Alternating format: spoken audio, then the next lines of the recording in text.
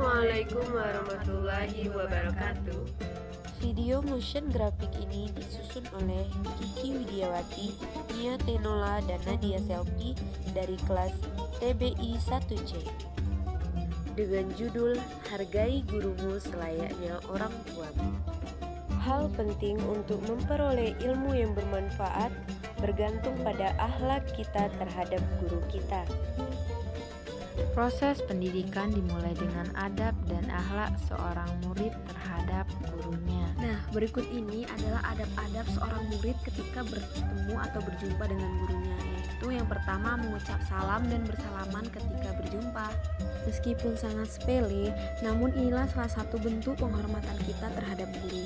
Ketika berjumpa dengan keduanya, maka segeralah berjabat tangan disertai mencium punggung tangan telapak tangan mereka. Dengan begitu, guru akan senang dan bahagia dengan sikap anak-anak didiknya.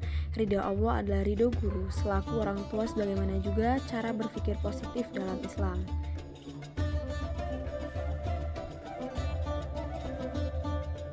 Yang kedua, membungkukkan badan dan mengucapkan permisi ketika akan melewati guru. Kita sebagai murid harus membungkukkan badan jika ingin melewati guru dan mengucapkan permisi saat kita akan melewatinya. Itu akan menjaga kesopanan kita terhadap guru kita.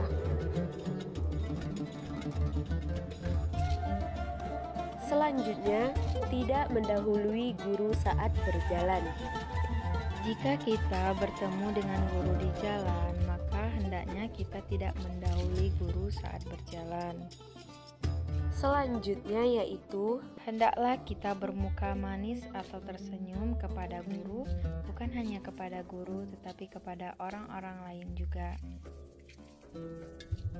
Kita sebagai murid hendaklah bertutur kata yang lembut dan sopan santun.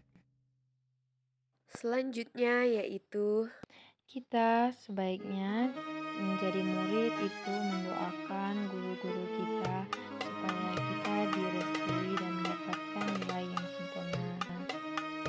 selanjutnya yaitu mengamalkan ilmu yang diajarkan oleh guru-guru kita. Jadi, setiap ilmu yang mereka ajarkan itu adalah ilmu yang bermanfaat, tidak ada yang sia-sia.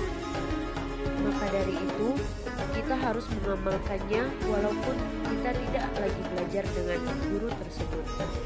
Karena ilmu yang diberikan mereka selalu berguna di masa yang akan datang.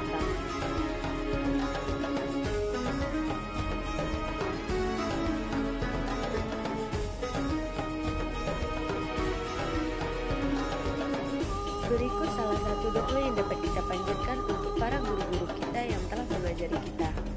Wahai Allah, ampunilah guru-guru kami dan orang yang telah mengajar kami.